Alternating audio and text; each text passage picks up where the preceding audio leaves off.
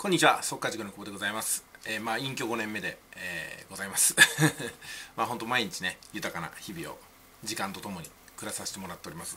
で、今回はですね、自然にお金が貯まる習慣のお話を2つに分けてしようかと思うんですよ。この2つの習慣を身につけると、自然にお金が貯まります。そしてなぜ自然にお金が貯まるのかも分かるようになります。ではまず1個目ですね。1つ目は、まず全ての支払いを固定費と変動費に分けるところから始めます。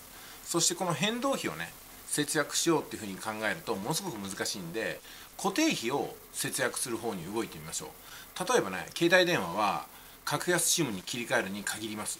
使用勝手使い勝手全く変わりません。ただ値段が安いだけなんですよ。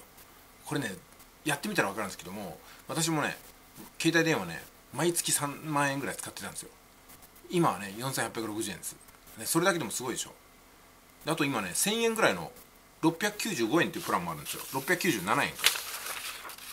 契約したんですけどね。697円。これすごいですよ。もう普通通り使えてもう言うことないですよね、うん、すごいですねこれはね。697円ですよ。3万円が。あとはなるべく w i f i のいる環境で使うようにすればいいだけですけどね。w i f i いっぱい飛んでますからね。私の住んでるとこでも結構飛んでますんでね。不自由ないですね。だから携帯電話を格安 SIM に変えるということで固定費を削減しましょう。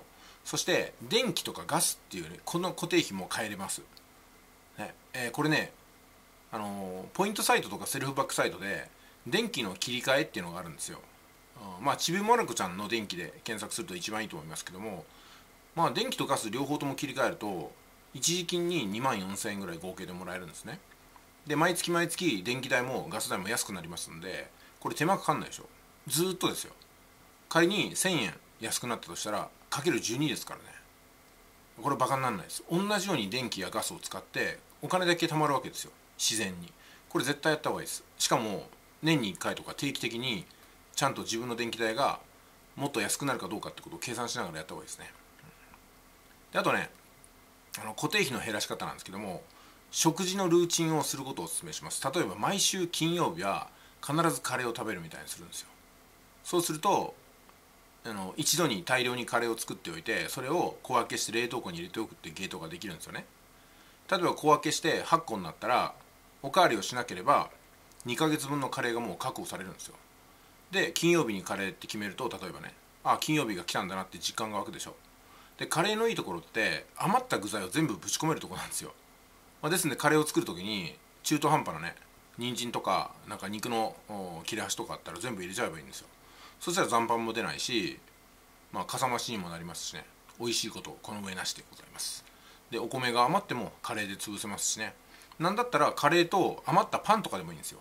パンパンで カレーつけて食べるとかね。これもおつなもんなんでカレーライスだけじゃないよってことです。とにかくカレーが使い勝手がいいです。まあ同じようにシチューでもいいと思いますけどね。鍋物とかね。こういうふうにして固定費を減らすことによって自然に余剰資金ができるっていう形になります。これが1点目です。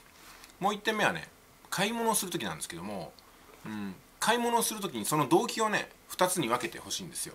1つは必要だから買うってやつ。ね。どうしても必要。例えばお米がなくなったらお米買うでしょ。でコップが割れたらコップ必要だから買いますよね。こうやって必要なものっていうのはどう転んでもいるんで買ってください。これは特に迷いがないです。もう一個の方なんですよ。必要なもの以外に買い物をするとしたら何があります？それは欲しいから買うってものなんですよ。必要じゃないけども欲しいって感じるもの。これはね欲しいんだけどなと思ったら1日待ってください。そして冷却期間を置いて次の日も欲しいなと思うようでしたらこれは欲しいものではなくて必要なものに繰り上がりますんでそれは買いましょう。でも欲しいかなと思って我慢したらまあいらないかっていうことに気づいたらそれはいらないものなんで買わないでください。ただし国家ですよ。買わなかったんだから買ったと仮定した代金を貯金してください。そうすると自動的にお金が貯まります。これがね積もり貯金っていうんですよ、うん、だからそういうような形でねお金を自然に貯まる流れをまずは持っていきましょう。これは所得が低くても高くてもどっちでもできる話ですから、ね、こういうふうに固定費と変動費で分けて使い分けていくってこと。固定費を減らすように頑張っていくこと。それから買う動機を考えていくことですよね買い物のために。そして必要なものなのか。欲しいものなのか、うん、こういうふうにニーズかウォンツなのかを分けていくってことですよね。これによってお金の貯まるスピードは速くなるはずです。まあ参考にしてみてください。それでは。